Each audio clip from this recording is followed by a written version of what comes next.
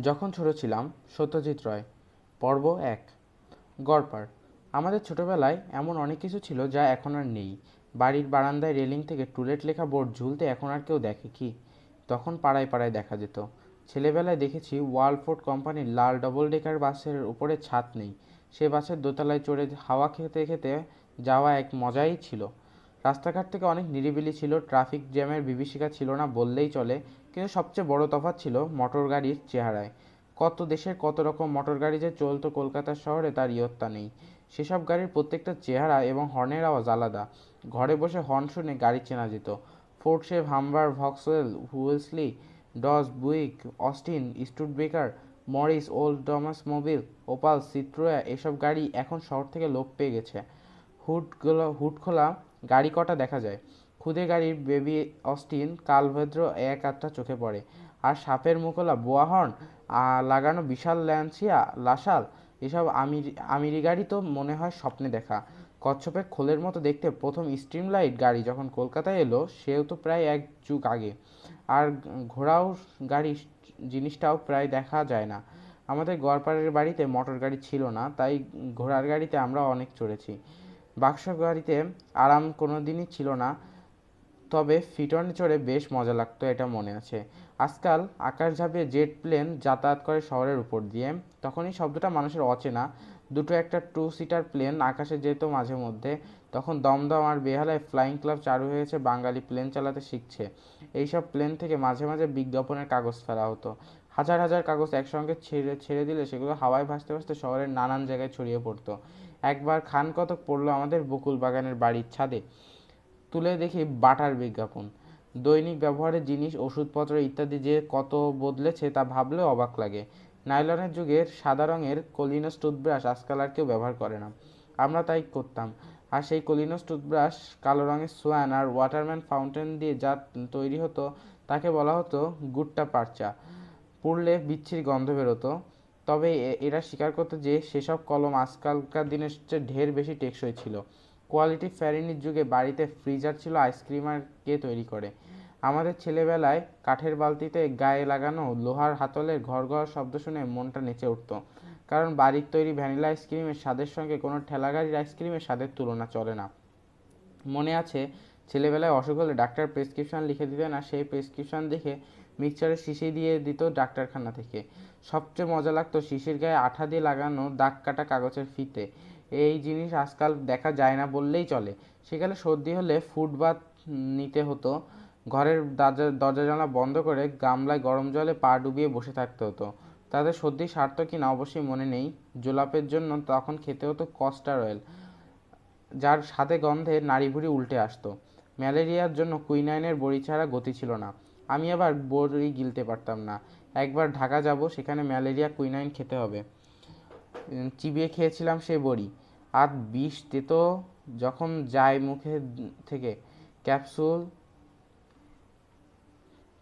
Capsule আসার পর থেকে ওষুধ জিনিসটা যে বিষাদ হতে পারে সেটা ভুলে গেছি আমরা। একেবারে শিশু বয়সের কথা মানুষের খুব বেশি মনে থাকে না। আমার বাবা যখন মারা গেলেন, আমার বয়স তখন আড়াই বছর। সেই ঘটনা আমার মনে নেই, কিন্তু বাবা যখন অসুস্থ আর আমার বয়স দুই কিংবা তারও কম, তখনকার দুটো ঘটনা আমার পরিষ্কার মনে আছে। বাবা অসুখে পড়েন, আমি জন্মাবার কিছুদিনের মধ্যেই। এই অসুখে আর সারেনি। তবে মাঝে মাঝে একটু সুস্থ বোধ করলে বাবাকে বাইরে চেঞ্জে নিয়ে যাওয়া হতো। বাবার সঙ্গে আমি গিয়েছিলাম একবার সোদপুর আর একবার গিরিডি। গঙ্গার উপর সোদপুর বাড়ির উঠোনটা মনে আছে। একদিন বাবা ছবি আঁকছেন ঘরের জালনার ধারে বসে, এমন সময় হঠাৎ দেখলেন জাহাজ যাচ্ছে। আমি দৌড়ে উঠানে বেরিয়ে এসে দেখলাম ভো বাজিয়ে একটা স্টিমার চলে গেল। গিরিডির ঘটনায় বাবা নেই। আছে আমাদের বুড়ো চাকর প্রয়াগ। আমি আর প্রয়াগ সন্ধ্যাবেলা উস্ত্রির ধারে বালিতে বসে আছি। প্রয়োগ বলল, বালি খুঁড়লে জল বেরোয়। আমি ভীষণ উৎসাহে বালি খুঁড়তে শুরু করলাম। খোঁড়ার জন্য খেলনার দোকানে কেনা কাঠের খন্তা ছিল, সেটাও মনে আছে। খোঁড়ার ফলে জল বেরিয়েছিল ঠিকই, কিন্তু সেই জল থেকে একটা দেহাতি মেয়ে এসে সেই জলে হাত ধুয়ে গেল। যে জল আমরা খুঁড়ে বার করেছি, তাতে অন্য লোক এসে হাত ধুয়ে যাবে, এটা ভেবে রাগ হয়েছিল, তাও মনে আছে। যে বাড়িতে আমার জন্ম, সেই একশো নম্বর গড়পাড় রোডে আমি ছিলাম পাঁচ ন, পাঁচ বছর বয়স পর্যন্ত। তারপর অনেক বাড়িতে থেকেছি, আমাদের সবাই দক্ষিণ কলকাতায়, কিন্তু গড়পাড় রোডের মতো এমন একটা অদ্ভুত বাড়িতে আর আর কোথাও থাকিনি। শুধু তা বাড়ি নয়, বাড়ির সঙ্গে আবার ছাপাখানা। ঠাকুরদাদা উপেন্দ্র কিশোর নিজে নকশা করে বাড়িটা তৈরি করে তাতে থাকতে পেরেছিলেন মাত্র বছর চারেক। তিনি মারা যান আমার জন্মের সাড়ে পাঁচ বছর আগে। বাড়ির সামনে দেয়ালের ওপর উঁচু উঁচু ইংরেজি হরফে লেখা আছে U R U Ray and sons, printers and block makers. Gate দিয়ে ঢুকে দারোয়ান হনুমান মিসিরের ঘরে পেরিয়ে কয়েক ধাপ সিঁড়ি দিয়ে উঠেছিল ছাপাখানার আপিসের ঢোকার বিরাট দরজা। একতলার সামনের দিকটায় ছাপাখানা, আর ঠিক ওপরে দোতলায় ছিল ব্লক তৈরি আর হরফ বসানোর ঘর। আমরা থাকতাম বাড়ির পিছন দিকটায় বাইরে গলি দিয়ে গিয়ে ডাইনে পড়তো বসত বাড়ি ঢোকার দরজা। দরজা দিয়ে ঢুকতেই সিঁড়ি। আত্মীয় স্বজন আমাদের সঙ্গে দেখা করতে এলে সিঁড়ি দিয়ে উঠে ডাইনে ঘুরতেন। আর ছাপার কাজের ব্যাপারে যারা আসতেন তারা ঘুরতেন বায়ে। বায়ে ঘুরে ব্লক মেকিং ডিপার্টমেন্টের দরজা আর ডাইনে ঘুরে আমাদের বৈঠকখানার দরজা। আমাদের বাড়ির পাশে পশ্চিম দিকে ছিল মুখবোধির বিদ্যালয় আর পূবে আমাদের বাগানের পাঁচিলের উল্টো দিক। ছিল এথিনিয়াম ইনস্টিটিউশন দুপুরটা যখন গাড়ির চলাচল থেমে গিয়ে যেত থমথমে নিস্তব্ধ, তখন এথিনিয়াম স্কুল থেকে শোনা যেত ছাত্রদের নামতা পড়া আর বই থেকে রিডিং পড়া আর সেই সঙ্গে মাঝে মাঝে মাস্টার মশাইদের ধমকানি। বিকেলে মুখবোধি বিদ্যালয়ের ছাত্ররা আমাদের বাড়ির পাশেই তাদের মাঠে খেলা করত। সে খেলা আমাদের ছাদ থেকে দেখতে পেতাম, তবে আসল দেখার ব্যাপার বছরে একবার, স্কুলের অ্যানুয়াল স্পোর্টসের দিন। আমরা এই ছাদটা ছিল তিনতলায়। ঠিক ছাপাখানার ওপরে এখানে হতো আমাদের চোর চোর খেলার আর ঘুড়ি ওড়ানোর জায়গা। বড় ছাদ ছাড়াও আরেকটা ছোট ছাদ ছিল পশ্চিম দিকে, ঠাকুরদাদার কাজের ঘর। যেটা আমি জন্ম থেকে খালি দেখেছি, সেটাও ছিল তিনতলায়। এই ঘরের একটা জিনিস আমার হয়ে গিয়েছিল, সেটা হলো একটা কাঠের বাক্স। এই কাঠের বাক্স থাকতো ঠাকুরদার রং, তুলি এবং তেলের রঙে কাজে ব্যবহার করার জন্য লিনিসিড অয়েলের শিশি। তিনতলার দক্ষিণের ঘরে থাকতেন আমাদের মেজ কাকার কাকামণি, সুবিনয় রয়। বাবা মারা যাওয়ার পর ছাপাখানা তদারক কাকামণি করতেন। জার্মানি থেকে যখন নানা রকমের কাগজের নমুনায় বই আসতো, আমাদের অফিসে মোটা, পাতলা, রেশমি, খসখসে, চকচকে, এবড়ো, থেবড়ো, কত রকম যে কাগজ তার ঠিক নেই। কাকামণির ঘরে গেলে তিনি আমার হাতে এইরকম একটা বই দিয়ে বলতেন, দেখো তো, এর মধ্যে কোনটা চলবে? আমি বিজ্ঞের মতো পরপর কাগজের উপর হাত বুলিয়ে বুলিয়ে চলবে কিনা বলতাম। আমার ধারণা ছিল আমার বাছাই করা কাগজই আসবে জার্মানি থেকে। কাকামণির ছেলে সরল ছিল একমাত্র আপন খুঁড়তুতো দাদা। তবে দাদা আর কাকিমা অনেক সময় থাকতেন কাকার শ্বশুর বাড়ি জম্বলপুরে। দাদার পড়াশোনা শুরু হয়েছিল সেখানেই, সাহেব স্কুলে। দাদার ভালো ছিল সরল। ভালো নাম ছিল সরল। স্কুলে সাহেবের ছেলেরা দাদাকে ডাকতো শ্রীল বলে।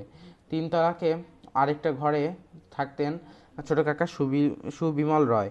পরে ছোটো কাকার সঙ্গ পেয়েছিল অনেকে। গড়পাড়ের তার সম্বন্ধে যে কথাটা মনে আছে সেটা হলো, ছোটো কাকার ভাত খেতে খেতে লাগতো আমাদের চেয়ে ঝাড়া এক ঘণ্টা বেশি। কারণ তার নিয়ম ছিল প্রতিটি গ্রাস বত্রিশ বার করে চিবানো। এ না করলে নাকি খাদ্য সঠিক হজম হয় না। আমি আর মা থাকতাম দোতলার দক্ষিণে। কাকামণির ঘরের ঠিক নিচের ঘরে। পশ্চিমের একটা ঘর থাকতেন বিধবা ঠাকুমা। তা, যার সঙ্গে আমার অনেকটা সময় কেটেছে ঝুড়ি থেকে পুরানো সন্দেশের ছবির ব্লগ বাছাই করে ঝেড়ে পুছে আলাদা করে রাখতে। ঠাকুমা মারা যান আমি গড়পাড়ে থাকতে থাকতেই। গড়পাড়ের চেয়ে বেশি মনে আছে আমাদের ধনদাদু কুলোদার রঞ্জন রায়কে। উনি থাকতেন একতলায় আমাদের শোবার ঘরের ঠিক নিচের ঘরে। দাদু মুগুর ভাসতেন। দাদুর মৃত লোকের ছবি এনলার্স করতেন। দাদু আমাকে পুরাণের গল্প বলতেন। দাদু এককালে ক্রিকেট খেলতেন। জাজরেল সাহেব টিম ক্যাল, ক্যালকাটার বিরুদ্ধে বাঙালি টিম টাউন ক্লাবের হয়ে দাদু একবার নিরানব্বইয়ের গাটে আটকে গিয়ে শেষ পর্যন্ত কীভাবে সেঞ্চুরি করেছিলেন সে গল্প তার কাছে অনেকবার শুনেছি। আমি যখন দাদুকে দেখেছি, তখন তার খেলার বয়স নেই, কিন্তু খেলা দেখার উৎসাহ তার জীবনের শেষ অবধি ছিল। এমসিসি অস্ট্রেলিয়ার দল কলকাতায় এলে দাদুর মনে পড়ে থাকতো ইডেনের মাঠে। দাদুর পেশা ছিল ছবি এনলাস করা। ছোট থেকে বড় করা ছবি ফিনিশ করার কাজটা তার নিজের ঘরেই করতেন তিনি। তেল রঙের ছবি আঁকার জন্য যেমন ইজেল থাকতো, তেমনি ইজেলে এনলাস করা ছবি খাড়া করে রেখে পা দিয়ে একটা হাই হাঁপড়ের সাহায্যে নিজে জিনিস দাবিয়ে হাতে ধরা ইয়ার ব্রাশের সুর মুখ দিয়ে রঙের স্প্রে বার করে ফিনিশ করার কাজ চলতো। আর আমি দাঁড়িয়ে দাঁড়িয়ে দেখতাম। বেশিরভাগ ছবি হতো কালচে আর খয়েরি রঙে, কিন্তু একবার মনে আছে নাটোরের মহারাজা যোগীন্দ্রনাথ নারায়ণের ছবি ফিনিশ করেছিলেন রং দিয়ে। গাছপালা সবুজ, কাশ্মীর শালের গায়ে লাল। পাশে বসে নতুন মহারাজা যোগীন্দ্র নারায়ণ দাদুর কাজ দেখেছেন, এটাও মনে আছে। চেনাশোনা বাড়িতে কেউ মারা গেলে দাদুর কাছে অর্ডার আসতো ছবি ইনলার্স করার। হয়তো গ্রুপ ফটোতে ছোট্ট একটা মুখ, তাও খুব স্পষ্ট নয় সেটাই দেখে দাদুর হাতে বড় হয়ে ফিনিশ হয়ে বাঁধিয়ে আসতো। তখন মনে হতো আসল মানুষটা যেন ছবির চেয়ে আছে আমাদের দিকে। কেউ মারা যাবার কয়েকদিনের মধ্যে দাদুকে দেখা যেত বগলে ব্রাউন পেপারে মোড়া বাঁধানো ছবি নিয়ে এসে হাজির। সে ছবি খুলে সকলের সামনে টেবিলের ওপর দাঁড় করানো হতো।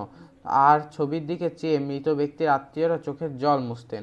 এই দৃশ্য ছেলেবেলায় আমার নিজের চোখে দেখা অনেকবার। গড়পাড়ে থাকতে ইউরাই অ্যান্ড সন্সে দাদুর লেখা অনেক ছোটদের বই বেরিয়ে গিয়েছিল। ইলিয়ার ওডিসিউড পুরাণের গল্প, বেতাল পঞ্চবিসংতি বত্রিশ সিংহাসন, কথা সাগর এইসব বই ডাই করে রাখাও থাকতো ছাপাখানার দোতলায় একটি পার্টিশন দেওয়া ঘরের মধ্যে। এর মধ্যে গল্পই অবশ্যই আগে সন্দেশ পত্রিকায় বেরিয়েছিল। বাবা মারা যাবার দুই বছরের অবধি সন্দেশ পত্রিকা বেরিয়েছিল। একতলার ছাপাখানায় সন্দেশ ছাপা হতো আর তিন রঙের মলার ছাপা হচ্ছে। কথা আমার পরিষ্কার মনে আছে। ছাপাখানায় ঢু মারার সময়টা ছিল দুপুরবেলা। দোতলায় যাওয়া হতো বেশি। ঢুকলেই দেখা যেত ডাইনে সারি সারি কম্পিটিটরের দল তাদের খোপ কাটা হরফের বক্সের উপর ঝুঁকে পড়ে হরফ বেছে বেছে পরপর বসিয়ে লেখার সঙ্গে মিলিয়ে লাইনে তৈরি করছেন। সকলের মুখ চেনা হয়ে গিয়েছিল, ঘরে ঢুকলে সকলে আমার দিকে চেয়ে হাসতেন। আমি তাদের পাশ কাটিয়ে চলে যেতাম ঘরের পেছন দিকে। আজও তারপিনের গন্ধ পেলেই চোখের সামনে ভেসে ওঠে ইউরা ইউরাই অ্যান্ড সন্সের ব্লক মেকিং ডিপার্টমেন্টের ছবি। ঘরের মাঝখানে থাকা বিরাট প্রেসের ক্যামেরা। ক্যামেরার কাজ যে শেখে নিয়েছিল বেশ পাকাভাবে, সেই রামদহীন প্রেসে কাজ যোগ দিয়েছিল সামান্য বেয়ারা হিসাবে। বিহারের ছেলে। ঠাকুরদা নিজাতে তাকে কাজ শিখিয়েছিলেন। রামদহীন ছিল প্রায় ঘরের লোকের মতো, আর তার কাছেই ছিল আমাদের যত আবদার। একটা কাগজে হিজিবিজি কিছু এঁকে নিয়ে গিয়ে তার হাতে দিয়ে বলতাম, রামদাহিন, একটু সন্দেশে বেরো, বেরোবে? রামদাহিন তখনই মাথা নেড়ে বলতো হা খোকাবাবু হা। শুধু তাই না, আমার ছবি ক্যামেরার নিচে, মুখ থেকে লেন্সের তলায় বিছিয়ে রেখে আমার কোলে তুলে ক্যামেরার পিছনে ঘষা কাছে দেখিয়ে দিত সে ছবির উল্টো ছায়া। পড়াশোনা ঘর পারে কি করেছি তা ঠিক মনে পড়ে না। একটা আবছা স্মৃতি যে ধনদাদু মেয়ে বুলু পিসে আমাকে ইংরেজি প্রথম ভাগ পড়াচ্ছেন, বইয়ের নাম স্টেপ বাই স্টেপ। সেটার চেহারাও মনে পড়ে। মাও পড়াতেন নিশ্চয়ই। তবে যেটা মনে পড়ে সেটা হলো তিনি ইংরেজি গল্প পড়ে বাংলা করে শোনাচ্ছেন। তাদের মধ্যে দুটো ভয়ের গল্প কোনোদিন ভুলিনি। কোনাল ডয়েলের ব্লু জন গ্যাপ আর ব্রেজিলিয়ান ক্যাট। ব্লু পিসির পরে বোন ছিল তুতু পিসি। তিনি থাকতেন আমাদের বাড়ি থেকে তিন মিনিটের হাঁটা পথ আপার সার্কুলার রোডে। আমাদের বাড়িতে কারুর কোনো বড় অসুখ হলে মা লেগে যেতেন সেবার কাজে। তখন আমি চলে যেতাম তুতু পিসির বাড়ি। জানালার শাসিতে লাল, নীল, হলুদ, সবুজ, কাঁচ লাগানো মোজাইকের মেঝেওয়ালায় এই আদিকালের বাড়িতে আমার খুব মজা লাগতো। সামনে বারান্দা ছিল একেবারে বড় রাস্তার উপর। আর একেধারে রেল লাইন, সেই রেল লাইনে যাতায়াত করে ছোট রেলগাড়ি। যতদূর মনে পড়ে, সে গাড়িতে মানুষ যাতায়াত করতো না। সেটা ছিল মালগাড়ি, শহরের আবর্জনা নিয়ে যেত ধাপ, ধাপার মাঠে ফেলার জন্য। লোকে ঠাট্টা করে বলতো, ধাপা মেল। তুতুপিসির বাড়িতে যে কয়দিন থাকতাম, সে কয়দিন আমার পড়াশোনা ভার তিনিই নিতেন। আর পিসেমশাই কাজ করে ফিরে বিকেলে তার গাড়িতে করে নিয়ে যেতেন বেড়াতে। বাড়ির অসুখ সেরে গেলে আবার ফিরে যেতাম গড়পাড়ে। বাড়িতে থাকলে বিকালে মাঝে মাঝে বেড়াতে যেতাম স্যার জগদীশ বোসের বাড়িতে। এই বাড়ি আমাদের বাড়ি থেকে পাঁচ মিনিটের পথ, সেই আপার সার্কুলার রোডেই। জগদীশ বোস তখন বাংলার সবচেয়ে বিখ্যাত ব্যক্তিদের একজন। গাছের প্রাণ আছে তিনি আবিষ্কার করেছেন আর তাদের জন্য স্যার উপাধি পেয়েছেন। অবশ্যই আমরা তার বাড়ি যেতাম, তাকে দেখার জন্য নয়। তার বাগানের চারপাশে এক চিড়িয়াখানা ছিল সেটা দেখতে। তবে বেশিরভাগ দিনে বিকালবেলা কাটতো আমাদের বাড়ির ছাতে। আমাদের নিজের ভাই বোন না থাকলেও বাড়িতে যে সঙ্গী ছিল না তা নয়। রাধুনী বামুনির ছেলে হরেন আমার সমবয়সী। শ্যামা ঝিয়ের ছেলে ছেদি আমার চেয়ে বছর চার পাঁচেকের বড়। শ্যামার বাড়ি ছিল মতিহরি। ভাঙা ভাঙা বাংলা বলতো, তবে কোনো কারণে অবাক হলে গালে হাত চলে যেত আর সঙ্গে মুখ দিয়ে বেরিয়ে আসতো আগে মাইনি দেখতো পহিলি ছেদি বাংলা শিখেছিল। অনেকে গুণের মধ্যে ছিল ঘুড়ির প্যাচে কেরামতি। মাঞ্জা দেবার কাজটা আমাদের ছাতে তিনটি লোহার থামের সাথে সুতো পেঁচিয়ে করা হয়ে যেত। লাটাই ধরার ভার ছিল আমার ওপর বিশ্বকর্মা পুজোর দিন যখন উত্তর কলকাতার আকাশ ঘুরিতে ছেয়ে যেত, তখন দেখা যেত ছেদির কেরামতি। চারদিকে ছাদ করে পাঁচওয়ালাদের চিৎকার পাড়া মেতে উঠত। দুয়ক্ক বারানক্য দুয়ক্ক পাঁচ লারানক্য আর ঘুড়ি কাটলেই ভোগ কাটটা। ছেদির হাত কাজ বেশ ভালো ছিল। দশ বারো বছর বয়সে নিজের রঙিন পাতলা কাগজে জুড়ে ফানুস তৈরি করতো, যেটা আমরা কালী পুজোর দিন ছাদ থেকে ওড়াতাম। এবছর এছাড়াও আরও দুটো জিনিস ছেদি তৈরি করতো, যেটা আমি আর কাউকে করতে দেখিনি। এক হলো চাবি পটকা, এক, একটা হাতখানেক লম্বা বাকারি নিয়ে তার মাঝখানে কিছুটা খানিকটা চিড়ে আর একটা চাবির হাতলের দিকটা ঢুকিয়ে দিয়ে বেঁধে দিত যেমন যাতে চাবিটা সমকোণে বেরিয়ে বাখারি বাখারি থেকে। চাবি সাধারণত দুই ধরনের হয়, মাথা বন্ধ আর মাথা ফুটো। এই ব্যাপারে দর- দরকার দ্বিতীয় ধরনের চাবি। এই ফুটোর মধ্যে পুড়তে হবে বারুদ। ছেদির দেশলাইয়ের মাথা থেকে বারুদ দিয়ে ঢুকিয়ে দিত ফুটোর ভিতর। এবারে সেই ফুটো ঢোকাতে হবে একটা বেশ আট ফিটিং পেরেক, যাতে পেরেকের তলা থেকে বারোদের মাঝখানে একটা ফাঁক থাকে। এবার বাখারির সাথে শক্ত করে ধরে পেরেকের মাথায় সজোরে দেয়ালে মারলে বায়ুর চাপে চাবির ভিতর বারুদ বোমার মতো শব্দ করে ফেটে ওঠে। এছাড়া ছেদি দইয়ের ভাঁড় দিয়ে এক রকমের লণ্ঠন তৈরি করতো, যেটা ভারী মজার লাগতো আমার। ভাঁড়ের তলার গোল অংশটা কেটে বাদ দিয়ে তার জায়গায় লাগিয়ে দিত রঙিন কাঁচ। আর তারপর রঙে ভাঁড়ের ভিতর পাঁচটায় মোমবাতি দাঁড় করিয়ে সেটাকে জ্বালিয়ে ভাঁড়ের মুখটা বন্ধ করে দিত ফুটোওয়ালা পিচবোর্ড দিয়ে। ফুটোর কারণে বাতাস না পেলে মোমবাতি জ্বলবে না। সবশেষে ভাড়ার কানায় বাধা দড়ি দিয়ে অন্ধকারে ঘোরাফেরা করলেই দেখা যেত রঙিন কাচের মধ্যে দিয়ে রঙিন আলো বেরিয়ে পড়ে দিব্যি একটা বাহারের লণ্ঠনের চেহারা নিয়েছে।